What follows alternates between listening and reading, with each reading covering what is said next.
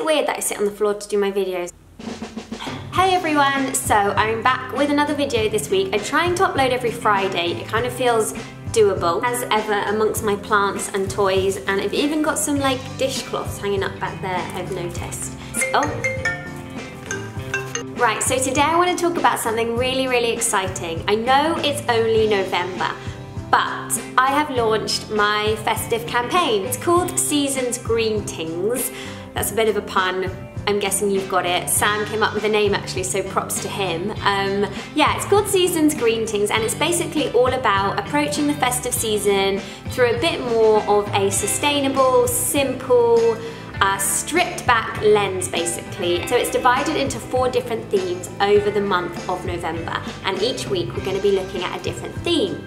The four themes are decoration, gifting, food and drink and activities. I just wanted to keep it broad enough so that it would be accessible to everyone but also try and give it some structure so that it can kind of be broken down a bit and within each theme there's going to be three different mindsets or kind of behaviours that I'm going to be laser focusing in on and suggesting some alternatives for or switches. So kind of not dissimilar to the plastic free parent challenge that I ran a couple of months back but obviously focusing on the festive season. So what else do I want to say about it? Well, it is not a Christmas campaign, it's not a religious campaign, it's for people of all backgrounds. It's going to be looking at aspects of Diwali and aspects of Hanukkah, aspects of the winter festival for people that celebrate in the Steiner way. The campaign's going to run across Instagram and social media, but I've also created an accompanying 30 page guide that you can download on my blog. I will link to it below. And the guide aims to accompany us all through the campaign and again is broken down into different weeks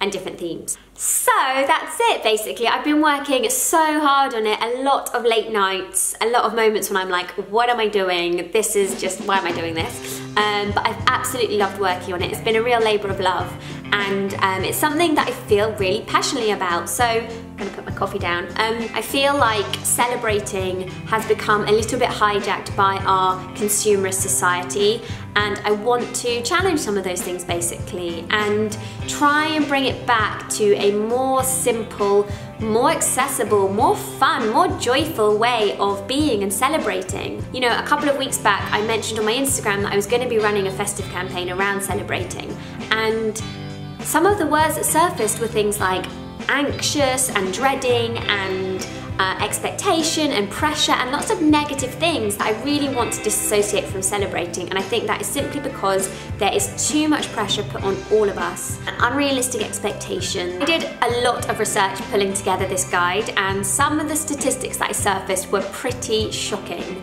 I think probably the worst one is that during the festive period, we create 30% more waste than the rest of the year, which is just ridiculous when you think about it, especially because during the whole rest of the year, we create 2.12 billion tons of waste over the course of that year. So if it's increasing by 30% in December, well, that's not ideal. Anyway, I'm waffling now. Probably also wondering why I'm doing this in November. It seems kind of early.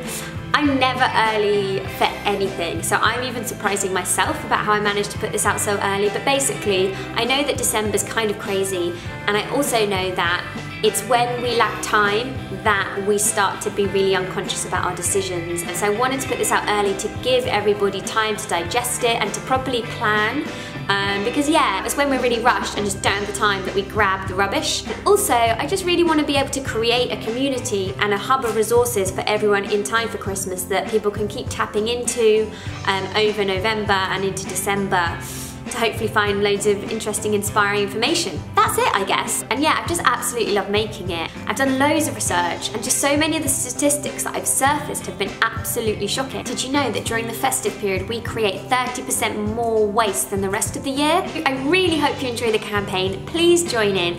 Please use the hashtag Seasons Greentings. It's on different platforms, Facebook, Twitter, mainly Instagram. But yeah, please come along, join in, share your ideas, share your thoughts. It would be great to see what everyone's up to. And yeah, I'm just wishing you a really relaxing, stress-free, sustainable, simple, joyful, wonderful, festive period, however you're celebrating. And uh, yeah, I'll catch up with you soon. I just realized throughout the whole course of that video that my mic wasn't switched on. Does this sound sound different to the sound you just heard?